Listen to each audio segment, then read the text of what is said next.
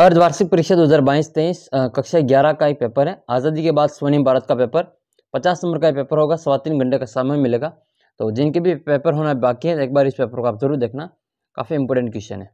पहला क्वेश्चन आपके सामने कि Dutch East India company Bharat कब आई थी? चार ऑप्शन आपके सामने उत्तर अपने अनुसार ढूंढना। दूसरा है, धन निष्कासन का सिद्धांत किसने प्रतिपादित किया था? अंग्रेज़ों ने काला कानून किसे कहा? भारतीय राष्ट्रीय कांग्रेस की स्थापना कब हुई?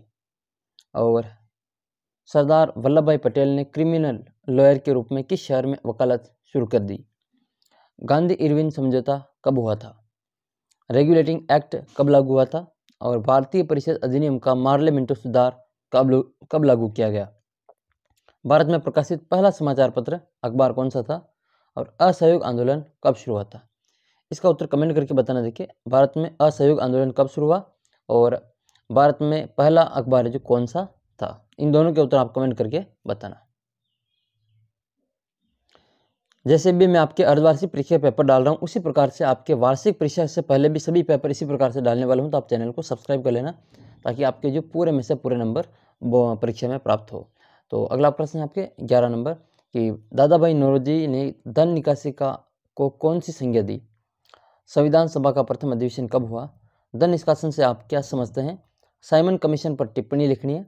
महात्मा गांधी के सर्वोदय के सिद्धांत को स्पष्ट करना है। जलियावाला बाग, नरसंहार पर विवेचना कीजिए और क्रांतिकारी आंदोलन में किन क्रांतिकारियों को फांसी की सजा दी गई? गांधी इरविन समझौता को स्पष्ट करना है और 1919 का जो अधिनियम है, उसके तहत द्वैत शासन से आप क्या समझते हैं? अधीन भारत के समय कांग्रेस के प्रारंभिक उद्देश्य कौन कौन से थे? महात्मा गांधी की साबरमती आश्रम से दांडी यात्रा का वर्णन करना है। और महात्मा गांधी के प्रमुख राष्ट्रीय आंदोलन की विवेचना कीजिए, अर्थात उन पर निबंध लिखना है। भू राजस्व व्यवस्था भारत की अर्थव्यवस्था कृषि पर क्या असर पड़ा है? वर्णन करना है। आपके पास में भी क्लास इलेवंथ का कोई भी पेपर हो तो आप मुझे व्हाट्सअप कर सकते हैं। क्लास इलेवंथ का व्हाट्सअप ग्रुप नीचे, लिंक दे रखा है डिस्क्रिप्शन बॉक्स में।